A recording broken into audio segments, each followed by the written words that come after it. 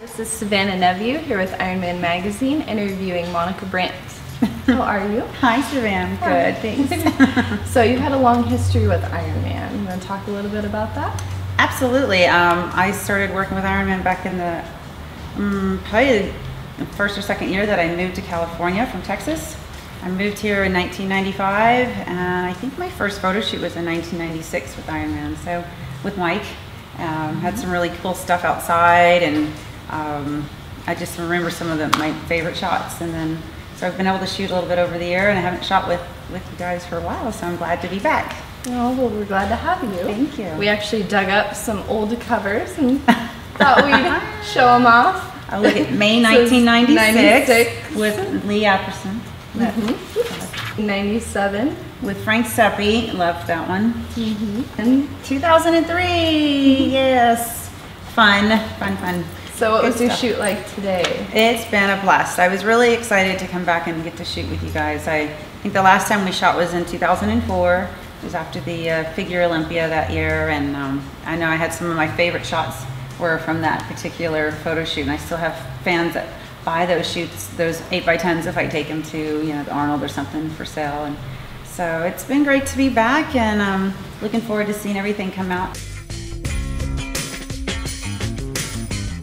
I started uh, fitness competitions in 1991 and went through to 1999. Uh, won the Fitness Olympia in 1998, uh, IFBB Fitness Olympia. That was pretty pretty amazing to win that. It was in uh, France. It was the only time that they had the Fitness uh, Olympia in another country. So it was really pretty cool to be over there and, and, and win over there and have that opportunity to shoot, do photos and stuff. Um, and then I quit competing for about three and a half years, just needed a little break from all of that. So I competed in the first Figure International IFBB, and I competed with the IFBB up, up to 2010.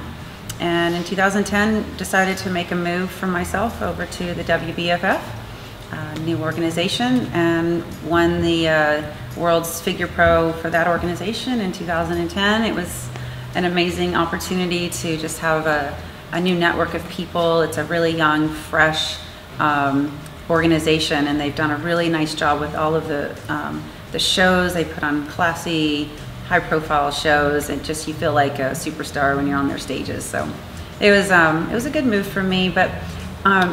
Um, I'm actually now competing in track. So Really? nothing subjective about track. um, yeah, so I, this year I decided to get back into some competitive track. I'm running uh, 100, 200, and 400 meter runs. I'm signed up with the Masters United States Track and Field um, division. Masters start at 30, so kind of cool. And then it's increments of five years, or it's actually four years. Um, so you compete with the people your age. And I've got some uh, some big meets coming up and doing really well. My times are coming down, and it's been a blast. I've really enjoyed it. I'm still hosting my fitness camps, the FEM camps. They stand for fun, educational, motivational.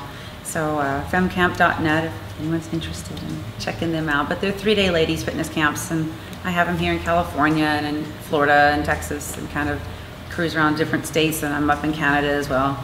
Um, um, if you come to one of my fem camps, I have a photographer that shoots each camp. So I have you know, top photographers shooting each camp. So um, Robert Reiff, Paul Buceta, David Ford. Um, and each of them, each of my camps, they get a full photo shoot with this photographer for the price of the camp.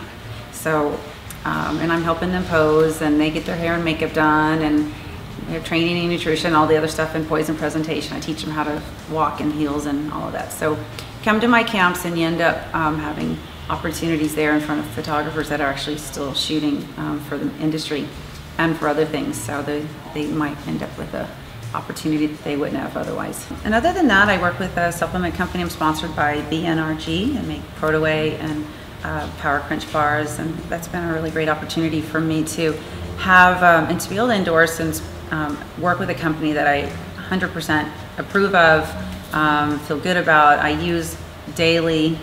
Um, I crave them, like uh, you know, be able to put all my clients on them, and so it's a great to be able to work with a company that I really believe in. Well, in the past, my training was just um, I, I did more high reps and just um, low weight because I wasn't thinking about wanting to put on more muscle on my legs. I just always wanted them to be conditioned.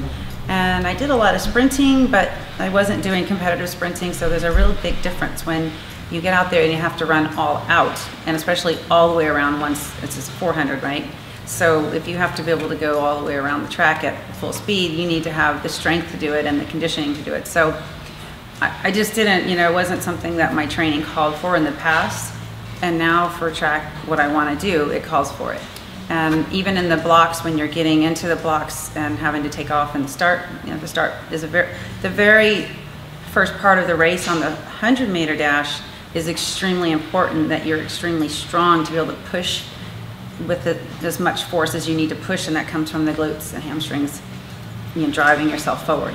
So that is such a short race. You have to be so strong in the beginning of that race. That race is won in the beginning of it. So you need to, so a, a squat is actually the um, the most um, the exercise that duplicates running the most as far as a exercise that can build up the muscle enough. And then the deadlifts obviously so strong um, helps build up the hip flexor and the glutes. So and um, you have to have strong hip flexors to bring the heavy. I mean, think how heavy these legs are. In this little bitty area here, gonna have to lift and be conditioned to go all the way around or whatever you need. So um, it's been an eye opener for me, and it's been really fun to actually train that way a little bit different. I just, you know, needed the green light to try it out and and not worry about figure any, you know, for now. But I really think that this type of training would actually still suit me for figure if I decide to compete in figure again.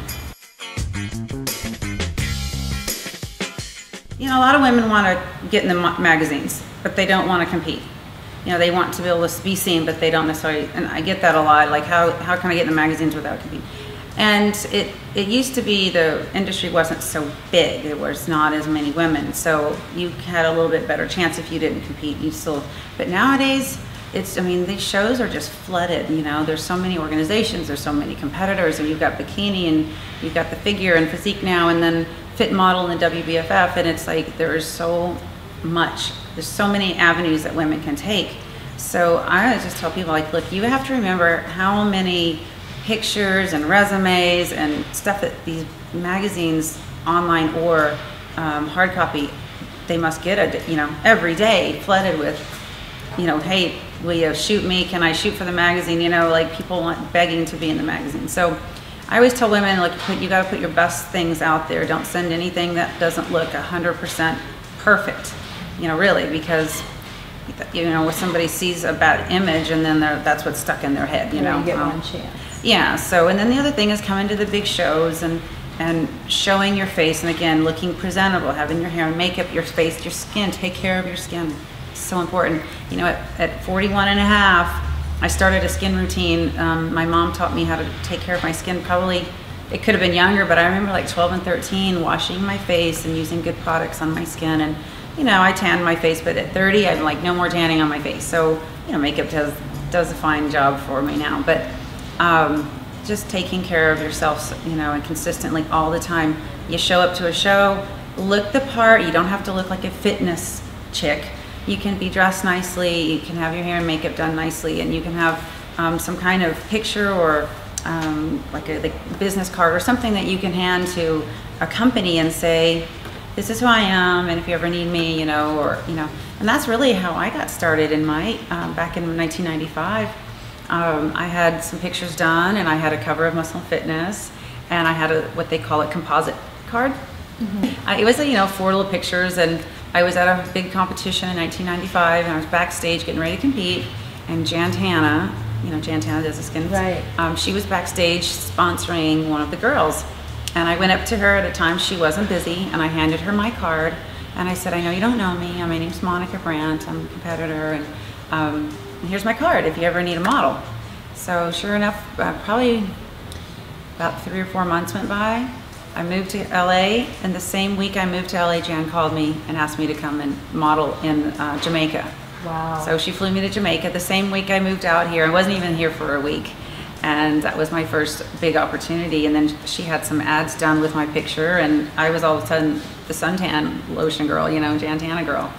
That was in 1995. So you know, it just happened because I handed her my card and said, I am who I am and here I am and I'd love to work for you if you ever have opportunities. So, you know, those kind of things do happen, but again, presentable, fit, clean, you know, classy and, and smart. You have to have all those things.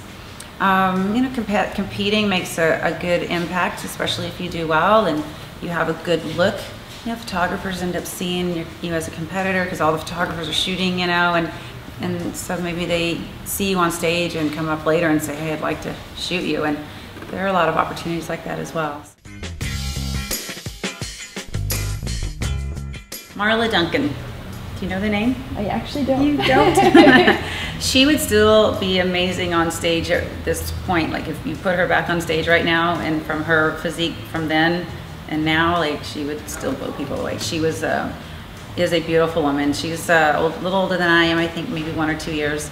Um, mom and wife, and you know she's loving her lifestyle now. But when I started um, looking into this, she had just won a big competition, the Fitness USA Nationals, and there were three rounds: so a physique round, um, a routine round, and um, a speaking round. So you had to say your philosophy of fitness, and you had 45 seconds to say this round and they cut the mic off if you went over it. So you had to have it, and you had to sound good without sounding like a speech that you memorized. Anyway, she um, she won that big show, and I remember seeing her picture and thought, this looks like fun. So I ordered VHS tape. It was a VHS back then, and I um, had my family come over to my apartment, and we all sat and watched the video, and I was sharing with them that this is something I wanted to do. And they were like, oh, all right, you know, why not? Try it out, yeah. So that was the a first um, person that I guess I was inspired by. And um, in 1995, like I started competing in 91, so 95 was my first year really to do a whole lot in the industry. And I started getting to know uh, Robert Kennedy with uh, Muscle Mag magazine, and um, he had me do a photo shoot with Marla and another bodybuilder, Frank Sepe, who actually I had a cover with you guys on Iron Man. So it was like me and Marla and Frank. So I actually got to shoot with my inspiration, like my role model. Aww. It was really cool. We actually had two covers that came out on Muscle Mag like that. And then she hired me to shoot. She had a clothing line for a little while. Um, so she hired me to shoot her clothing line catalog. And we've always kept in touch since then, you know. And, um, it's great. It was a, it was just a fun, back then I remember having so much fun meeting her and shooting with her and it was really cool. Well, it's been a long day of shooting. Thank you so much for coming and interviewing with us. Yeah, thanks for having me. It was really great to be back here again. I love being in the studio and getting to shoot with Mike again, so thank you. And we're glad to have you. You did a fantastic job today. Watch for Monica Brant's future hard body feature and cover with Clark Bartram. You've been watching IronManMagazine.com.